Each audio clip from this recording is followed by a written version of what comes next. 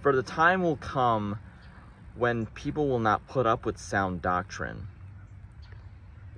They will gather around great numbers to what their itching ears want to hear and what suits their desires, as it was said, along the lines of something like that. In 2 Timothy chapter 4, verse 3 through 4. And that time is now. Basically, it started in the 80s, but more has it been more than ever that there have been many churches, many mega churches, and mega churches that are speaking with certain pitches in their tongues that um that basically they are speaking doctrines that are heresy and speaking hypocrisy.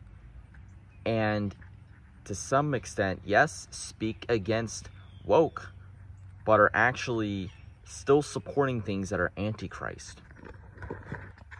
When you hear people that speak in certain pitch tones know that if they keep doing this more than one sermon then you know to leave that church because that is their witchcraft to deceive a whole crowd, to sensationalize the congregation, even to sensationalize themselves. They are all deceived, including the pastor, including the the I guess you can say the elders because they want people to have a security that they are saved. We are being saved, not saved.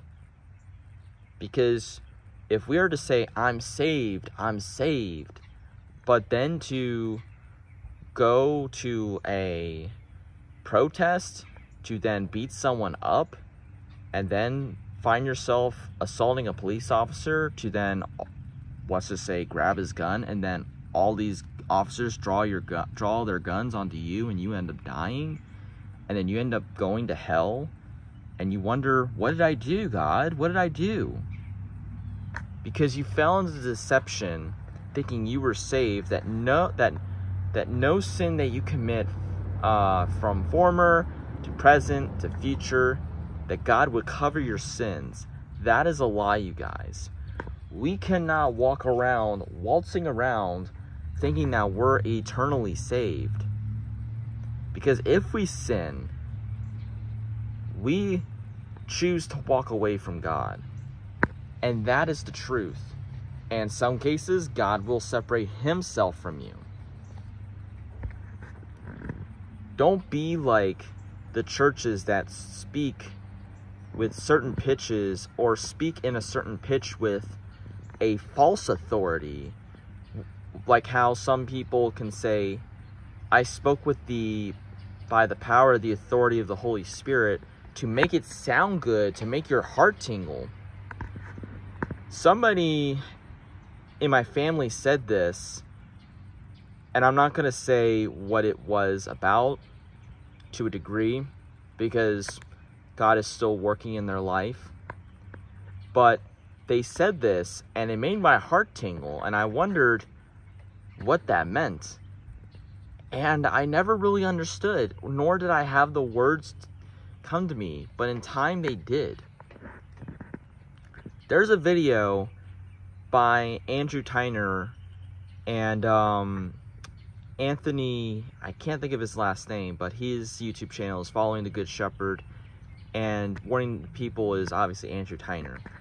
And what um, Anthony mentioned was is that he came from a sales background for selling cars. And he said that when him and his wife, when they were starting to go to the Lord or wanting to start to follow Jesus, they knew that there was something wrong, as if there was sort of a pitch of a sales.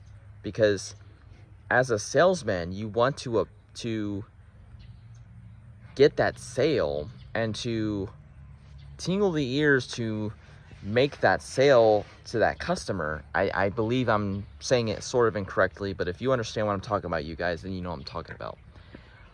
But anyways, in the same way, it's like this in the church in the masses.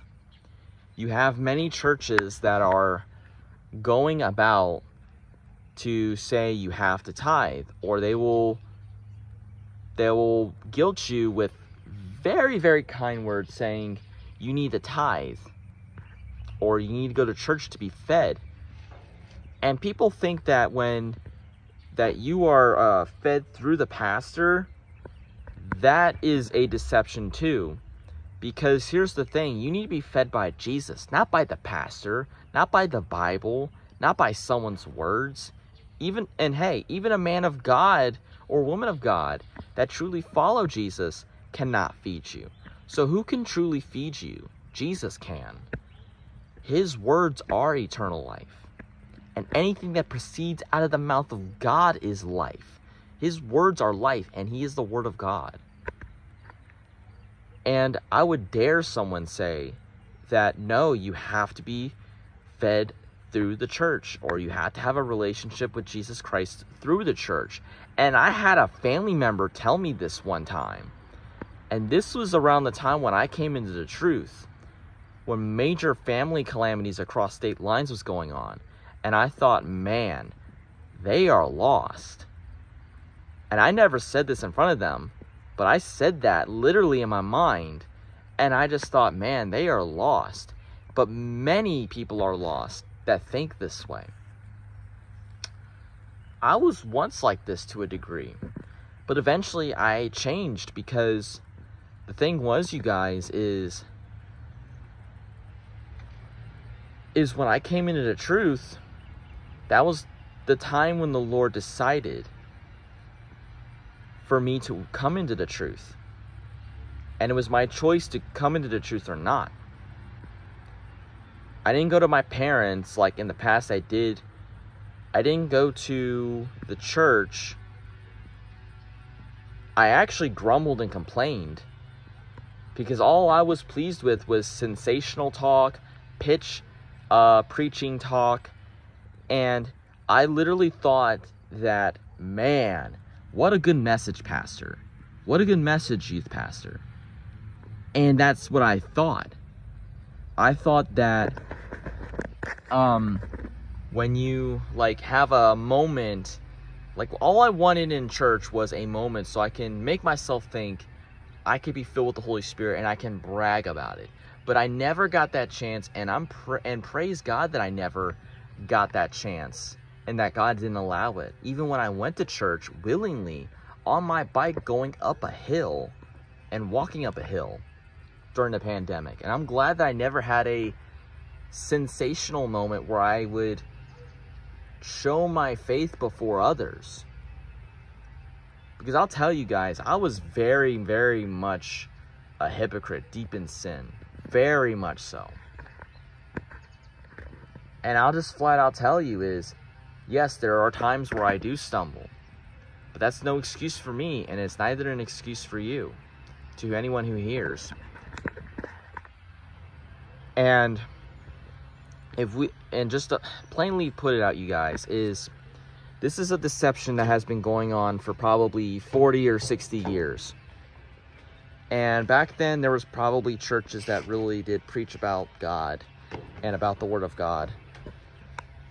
And there are a few churches out there that do that do preach the word of God by his spirit. But few of those churches are dwindling every day. Many are deceived thinking that um that the that the antichrist church hasn't happened yet and that that'll only come when the seven year tribulation will happen guys it's already here the there are already tribulations going on but those seven years haven't happened yet so my question to you guys is are you just going to church to be sensationalized? Thinking that through that you can be fed by God? Or are you going to go to Jesus to whether you feel good or feel bad? Whether you have a good day or a bad day, you're still going to follow Jesus no matter what. Whether it be many prayers in the day or just literally one prayer in the day saying and crying out, God help me. May Jesus Christ bless you.